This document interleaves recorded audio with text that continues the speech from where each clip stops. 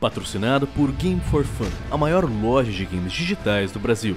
Utilize o link da central e adquira o seu Overwatch Origins com preços especiais. Outro evento, outros vazamentos, outras novidades. É, a Blizzard a gente já conhece, então vazamento não é o que vai faltar. E aí galera, aqui é o Lion da Central, eu estou aqui hoje com o White e nós iremos discutir hoje o que podemos esperar do novo evento do Overwatch, o Overwatch de volta à praia. Tudo já contigo, White? Tudo beleza, cara, e contigo, tudo certo? Tudo perfeito. Estou muito ansioso para o novo evento, afinal, quem é fã do jogo de verão está muito ansioso para ter a volta daqueles itens que você não conseguiu, porque afinal não dava para comprar, né? Você tinha que ter sorte, e se você não tivesse sorte ou não comprasse caixa, você não ganhava porcaria nenhuma. Mas agora provavelmente vai ser a nossa chance de comprar o que faltou, beleza?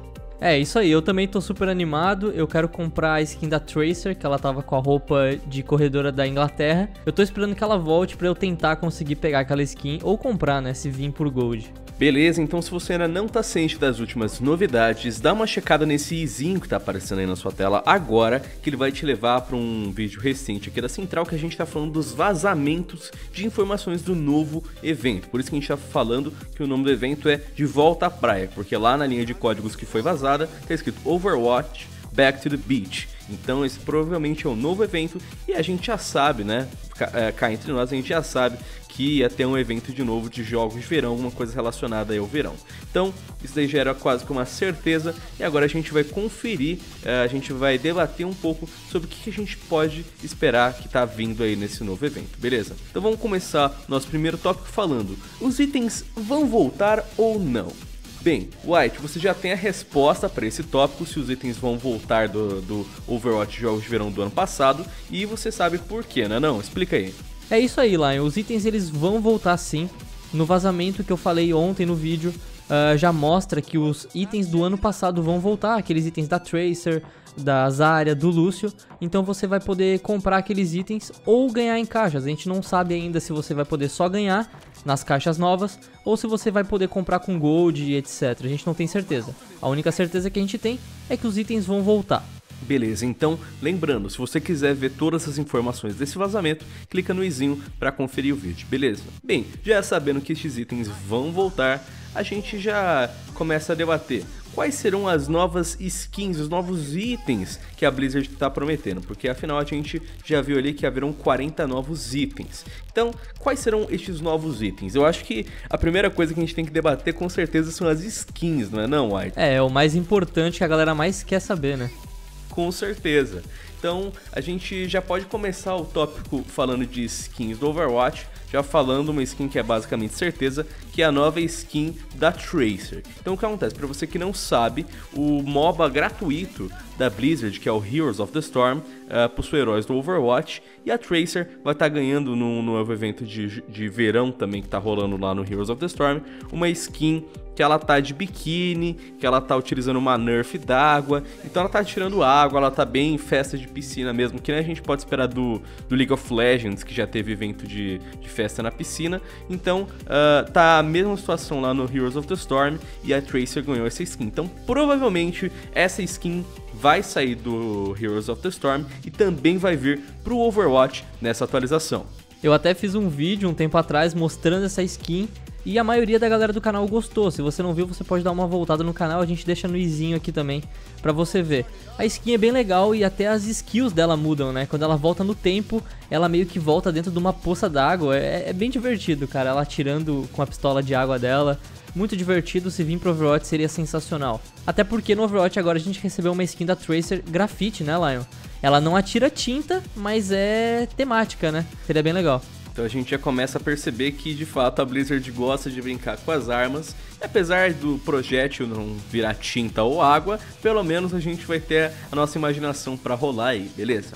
Bem, outro personagem que a gente já pode ter quase que certeza que vai ter uma skin é provavelmente a Mei, porque a Mei já teve tantas, mas tantas fanarts de biquíni, de praia, que provavelmente ela vai fazer isso, até porque afinal ela é, as armas dela, né, o kit de habilidades dela é relacionado a gelo. Então acho que nada é mais sentido do que você ir para uma festa de praia e ter uma arma de água ou de gelo para ficar brincando com os seus amigos, não é não?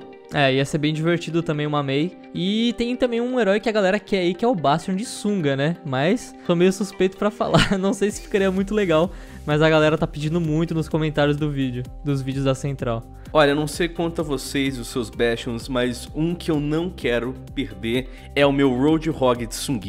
Olha só que coisa magnífica, essa coisa linda. Precisa, cara, eu não, eu não aceito ter esse evento e não ter o meu Roadhog de sunguinha. Eu preciso ver ele totalmente assim, maravilhoso. Até porque você não pode nem me falar que, por exemplo, ah, a Blizzard não vai deixar sexualizar os personagens tanto assim. Porque lembra que um, no começo do Overwatch teve a treta da bunda da Tracer, né? A pose de, de, de, vitória da bunda da Tracer. Teve mó fififi, mó mimimi. Mas aí você vira, por exemplo, olha essa, olha esse, essa skin do Heroes of the Storm. Olha só, esta criatura do Diablo Olha só que coisa bonita. Então você pensa, se esse daqui tá, tá em um jogo da Blizzard, por que não o Roadhogzinho? Então com certeza vão ter algumas skins bem doidas. Eu também tô torcendo por uma skin da, da Fara, ou mesmo uma skin da Zarya. Se bem que como a Zarya já teve, né, no, no ano passado, acho que provavelmente não vai ter outra da Zarya, né, White? E ela teve duas, né? Verdade. Então, provavelmente esses vão ser os personagens que vão ter skins.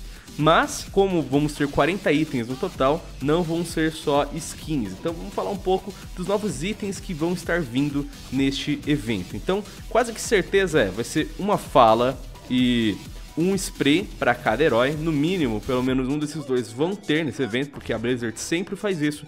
Então a gente pode esperar que vai ter aí um para cada herói.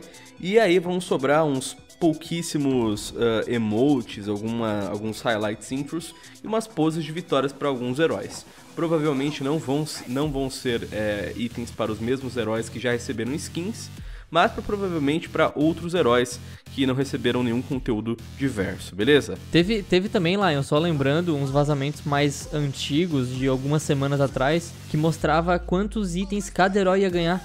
E a Ana e a Sombra, elas vão receber, se eu não me engano, cada uma delas recebe quatro itens. E faz muito tempo que a Ana e a Sombra não recebem uma skin. Aliás, elas nunca receberam uma skin lendária, né? De evento. Então, possivelmente, a Ana, a veinha, vai ganhar um, um maiozinho e a Sombra vai receber também uma skin aí no evento de verão. É muita coisa legal.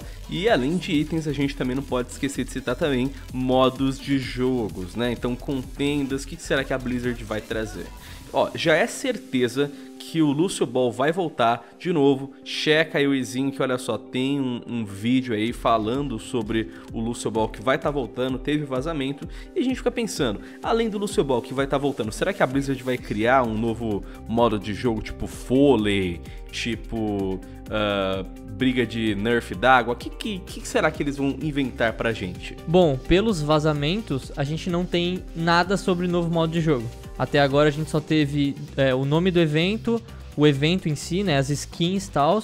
Mas modo de jogo, a única coisa que a gente teve foi o vazamento do Lucio Ball, que ele vai voltar, que até a Xbox Live ela liberou as conquistas, as novas conquistas para você pegar.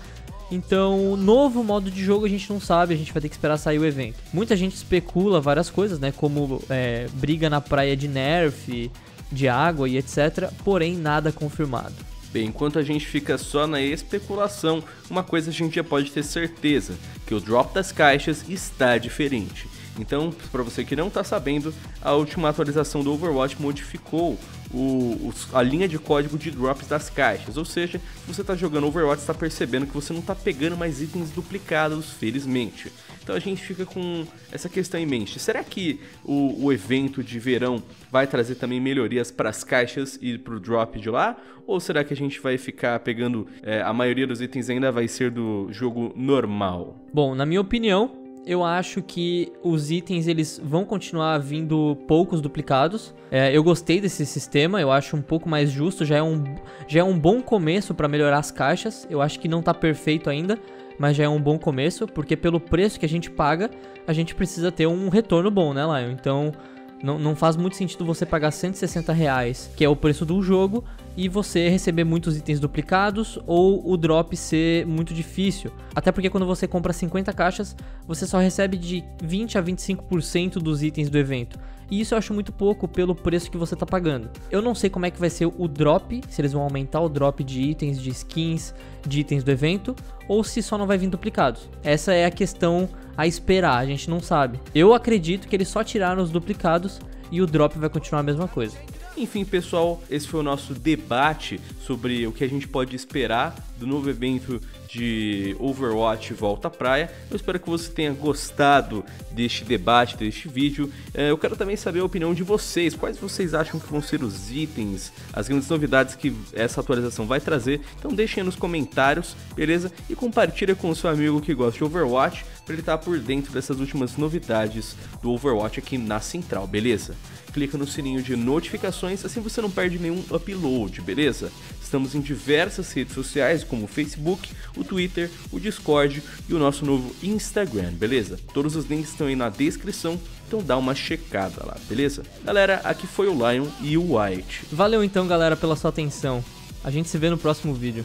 Boa sorte nos campos de batalha e até mais.